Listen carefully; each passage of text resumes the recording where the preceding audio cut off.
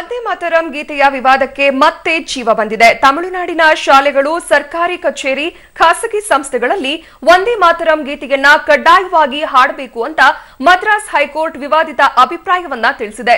ಸರ್ಕಾರಿ ಮತ್ತು ಖಾಸಗಿ ಶಾಲೆಗಳಲ್ಲಿ ಸೋಮವಾರ ಅಥವಾ ಶುಕ್ರವಾರ ವಾರಕ್ಕೆ ಒಂದು ದಿನ ಒಂದೇ ಮಾತರಂ ಹಾಡಬೇಕು. ಸರ್ಕಾರಿ ಕಚೇರಿ ಹಾಗೂ ಖಾಸಗಿ ಸಂಸ್ಥೆಗಳಲ್ಲಿ ತಿಂಗಳಿಗೆ ಒಮ್ಮೆ ಹಾಡಬೇಕು ಅಂತ ಮದ್ರಾಸ್ ಹೈಕೋರ್ಟ್ ನ್ಯಾಯಮೂರ್ತಿ ಎಂವಿ ಮುರಳೀಧರನ್ ಹೇಳಿಕೆಯನ್ನ ಕೊಟ್ಟಿದ್ದಾರೆ.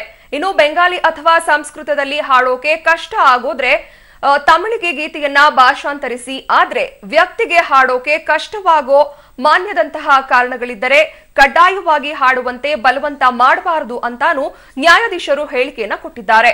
ಬೋರ್ಡ್ ಪರೀಕ್ಷೆಯಲ್ಲಿ ವೀರಮಾಣೆ ಅನ್ನೋದು ಒಂದೇ ಮಾತರಂ ಹಾಡನ್ನ ಬೆಂಗಾಳಿಯಲ್ಲಿ ಬರೆದ್ರೂ ಕೂಡ ಅದನ್ನ ಉತ್ತರಕ್ಕೆ ಅಂಕ ಕೊಡದಿದ್ದರಿಂದ ಹೈಕೋರ್ಟ್ ಮೆಟ್ಟಿಲೇರಿದ್ರು.